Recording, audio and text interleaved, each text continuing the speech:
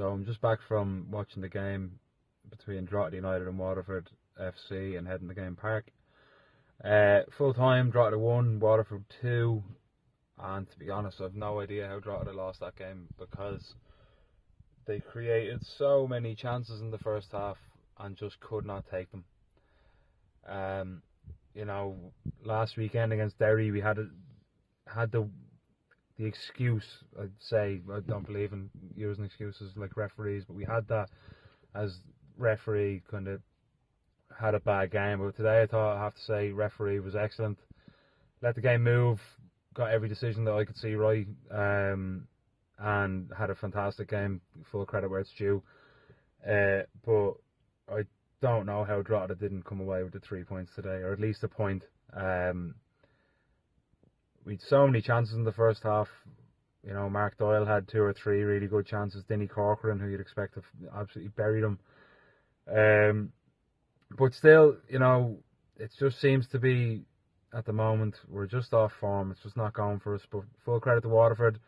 Um, Marc Bircham has been playing some good football. They're hard working. They're tough as nails. And uh, yeah, I was really impressed with the likes of Kane Kavanagh and Shane Griffin. And um, yeah, no, look, full credit to them. Can't really complain. We just didn't take our chances today, and that's it. Then uh, we move on to next week, and fingers crossed we can we can get out of this rut sooner rather than later. Anyway, uh, best luck to, to you. Uh, full time and it's Drogheda one, Blues two.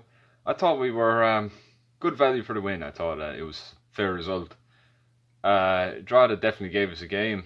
Uh, I thought when we got the goal, we uh, tried to uh, shut up shop a bit too early. But I think the experience in the team made a difference. You know, um, when we were looking for that second goal, we definitely threatened uh, a lot more. I thought.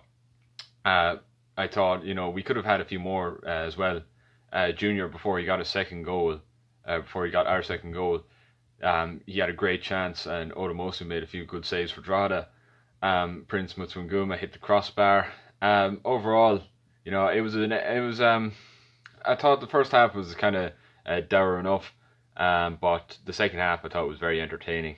And happy enough to come away with the three points. Now we have to wait to see what happens. Um, um, I can't, I don't know when that Bohs game has been rescheduled. I think they're the ones playing Finn Harps, um, and uh, that that's going to be important for us. Uh, we're going to be hoping whoever it is can do a job on him, and we'll finally be out of the relegation zone for what feels like the first time in years. Um, but yeah, I suppose the other thing I will say before I finish this up is that um, this season is far from over. You know, we've got a cup run potentially, and you know we can keep going up the table, see how far we can go. But we do have to start looking at doing something that we've never done um, since rebranding to Waterford FC, and that is keeping the players and getting them on contracts for next season. Uh, I hope we're able to do that, and uh, if we can do that, then yeah, I'll I'll be uh, very optimistic for the future. Hey guys, game just finished in Stradbrook. Uh, Cabinteely nil, Bray won just three. Uh, let's be honest, it's a comfortable uh, 3 0 win for Bray. Could have been more. Um, TV didn't offer very much going forward, and uh, Bray were comfortable winners in the end. Uh, Bray took the lead uh, in the opening half. Uh, some nice play on the edge of the box from Brandon Kavanagh and Sam Verdon allowed Joe Doyle in, and Joe um, put the ball past the County League goalkeeper come in uh, to make it 1 0 it um it stayed like that for most of the, the first half. Bray had a lot of chances, uh, particularly from corners, and uh, there was a few melees in the box, but uh, Cam Daly survived. And then in the second half, um, Bray added to their score. Uh, Sam Verdon uh, flicked the ball on uh, from a corner and made it 2 0 uh, with his first goal for the club, uh, which is good to see. Um, Bray then made it 3 0 uh, late on the game. Brandon Kavanagh uh, scored. Uh, Brandon hasn't scored for us in quite a while, um, but he scored Bray's third tonight uh, with a with a knee finish into the corner. Uh, Bray stay um, cemented their place in the playoffs uh, with Athlone losing tonight. Um, keeps them five points ahead of them, and uh, they've got Wexford Youths next week. Uh, sorry, Wexford FC next week. Apologies uh, at the Carlisle and followed by Treaty. Um, so two games, uh, no Treaty are going well, um, but uh, I'd be hoping for three points there and certainly they'll be hoping for, uh, even though Wexford have improved, they'll be hoping for three points again next week. So two home games, hopefully six points, and it would keep uh, place in the playoffs. Um, it would firmly keep them uh, uh, in the playoff spot. So, yeah, happy happy enough with the performance. It was a wet, dull night, uh, a lot of heavy rain before the game, which didn't make uh, things um, very easy for either side. Uh, but uh, yeah, as I said at the start, comfortable win for Bray. Uh, Cabinteely nil, Bray Wanderers three. Hi Keith, um, just a review on our game tonight versus UCD Endacross. Um, I was lucky enough to be at the game, which was great. It's great to see fans again, get back into the stadiums, and it's great for the League of Ireland. So onwards and upwards in that sense.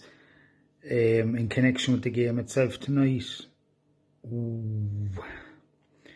first 45 minutes, I thought City played very well again, played some lovely football, um, and started the two lads, Aaron Bolger and Barry Coffey. Um, out of the two of them, Aaron Bolger was the most impressive. Um, what Colin Healy done was he played a 3 1 4 was it 3 1 4 2 formation as such, or 3 1 5 1 formation.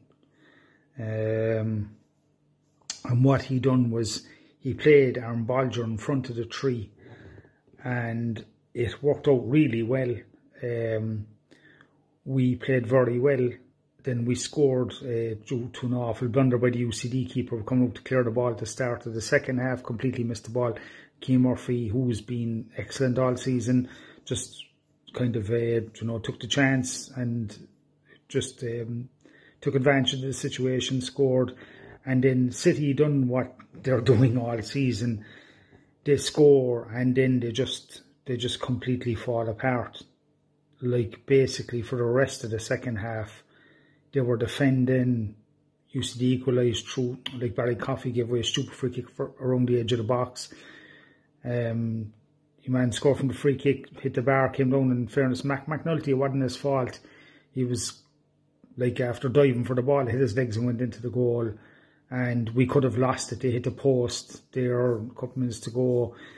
Um, like I said, like we, we seem to be with every team that I've seen at home this year, or even the most of the well at home definitely anyway, we're matching, if not better than most of the teams that are above us.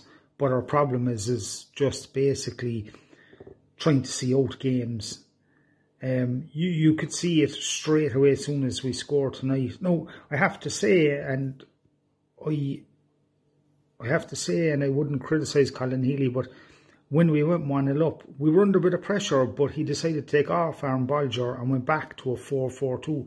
And it basically was a 4 1 4 1, but it basically invited UCD onto us, and that didn't do us any favours.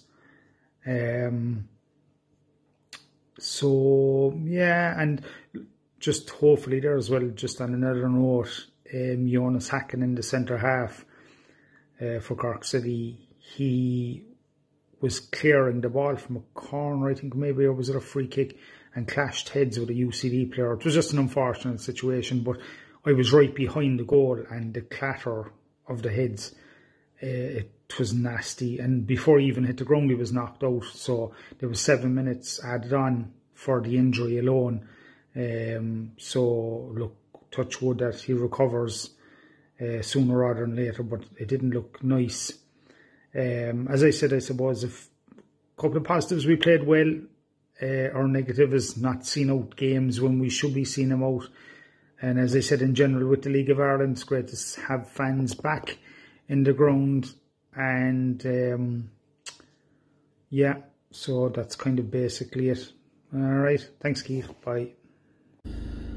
Hi guys. Um, absolutely heartbroken. Losing to Rovers is never easy, but to lose the way we did kind of makes it worse. The game was weird because I thought at the start we kept the ball very well. We we reduced Rovers to very little, um, but we were always missing Matty Smith and a striker you could just see Benson was playing in that false number nine. Just it was leaving us very exposed in midfield sometimes.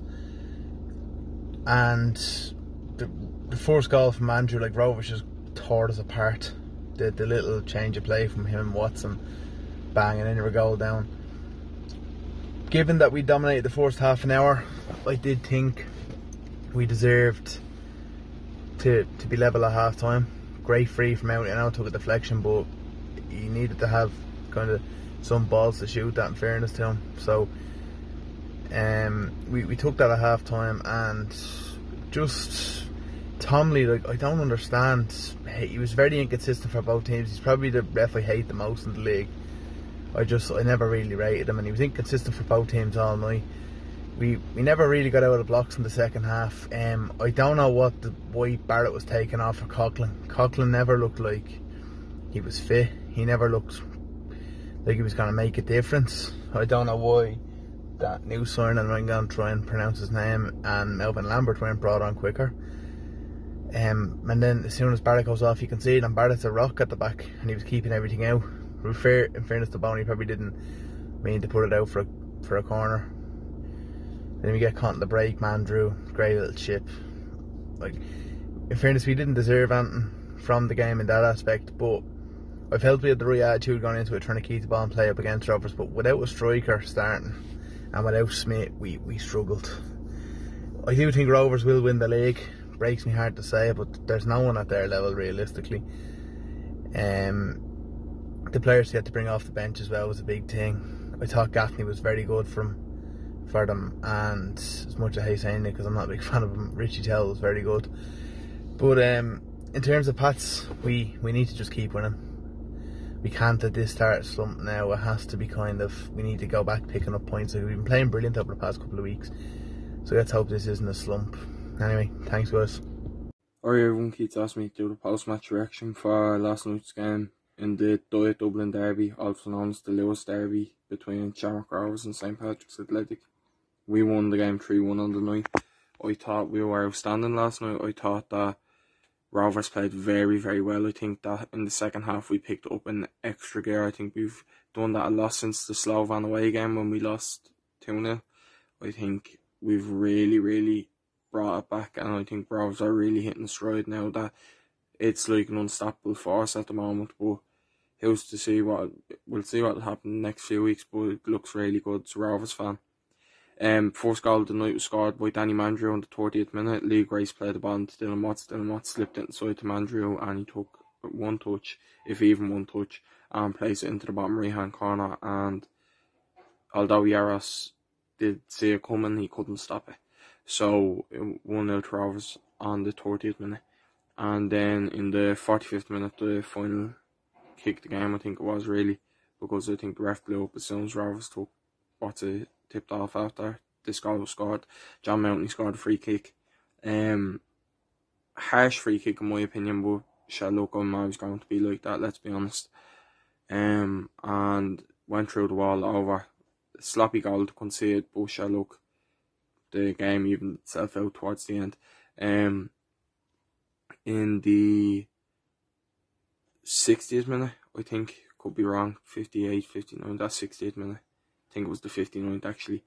Um, Rovers responded by a, I think it was Gaffney run through, uh, played off defender, hit off defender, went out, a ball whipped in by Watsy, I think could be. I'm nearly sure it was Dylan Watts. I'm not sure whether it was Dylan or Richie, because that's usually Richie's side. But I'm nearly sure it was Dylan that whipped it in right onto Pico's head. Pico slotted home with a header into the bottom corner. Um, very good goal, very good goal to score. Pats were very switched off for that goal. If I'm being honest, I thought that America should have been put on Pico because Pico, because Pico is that type of player. Now I know that's his first goal of the season for us this year, but you look over the past few seasons, Pico has been that type of player that once you what's it get a corner, you need someone on him or he's gonna score. And it was a perfectly weighted ball placed into the bottom corner. And in the 74th minute, Rovers went 3 1 up. Uh, beautiful counter attack. Robbie Benson lost the ball. I think Gary O'Neill passed on to uh, Roy Gaffney. Roy Gaffney got the ball went past one defender, slotted it through to Danny Mandroiu. Danny Mandroiu went past another and chipped over Jaros and put the game to bed, to be honest, because Pats didn't really respond after that, from being completely honest. Um, I thought Pats were very, very switched off last night. I think that that left back, I don't know who was left back last night, that left back and Jaros let them down last night, if I'm being completely honest, because I think that them two lads were, weren't up to the standards that they should be. Um, I thought that the standard of refereeing last night was appalling. I thought that Tomney and the two linesmen were very, very bad last night for both sides, not only Rovers. I know that those two Stonewall decisions, well, I could say three or four Stonewall decisions that weren't given Rovers way, but that could have been a few more over the other end that happened to Pats that we just didn't see because I was in the south stand. But I know for a fact that there was three or four Stonewallers that should have been given, but they weren't. Um, and a few dubious offsides on both sides, both with Rovers and Pats, because them linesmen not keeping up with the play. Um, me players of last night that I thought were outstanding. I thought Lee, I thought our backline was outstanding in general, but I, I think that Lee Grace has vastly improved in the past few weeks. I think it's because, and I'm not knocking uh, Sean Hoare because Sean Hoare's probably been one of our best players this season. I think it's with Joey back in the lineup. I think that Joey has that experience. Well, Sean does have the League of Ireland experience, but Joey has that experience heading on being the elder of our back line, that he can command the back line and show them right from wrong. I thought that Dylan Watts has been outstanding this season and he had a great game last night. I thought Danny Mandroiu had one of his best games in a row of a shirt last night and I think that if I'm being honest, if I was going to pick my players of the year for this year, this man would definitely be in contention. I know Rory Gaffney wasn't really a player that many were fearing coming into the season because obviously he had that long of a layoff. Um, I think the Shells game that was on RTE last year that we drew in all was his last game before like the pre-season this year. So it just shows that he was a man to prove that that didn't affect him. He was going to come back from that, and he did. And he was out, he's been outstanding this season. I really think that Rovers were lacking someone like him. Like Greener had the work right where, and as does Gaffney, but Greener Greener doesn't give, and I'm not knocking Greener because I love Greener because of the work rate and the passion that he gives to us as Rovers fans and the work rate that he gives to the team. But Gaffney just gives that that extra something that he's untouchable at times. Like, so I'd be saying they're outstanding now. Next week we have Twaite in the Conference League third round. We find out on Monday if we beat if we were to beat Twaite over the two legs who we get. But all in all, great performance from Rovers. We outclassed Pats in the second half, especially. Um, I thought that was one team from about 15 20 minutes on that was going to win it, and it was going to be us. We have Longford next Sunday in the league, and I know Pats have Dundalk, which is a test for them. So hopefully, Dundalk can nick us a few points off them, and we can go on and beat Longford. Now I'm not, I'm not knocking Longford because Longford have probably gave us two of our hardest games this season. So a good three points. A very, very, I'm very, very happy that we beat, beat Pats because that was the top of the table clash that we needed to win. And with a game in hand over them, I think that puts a small little gap in between the two clubs. But I'm very happy with that result last night.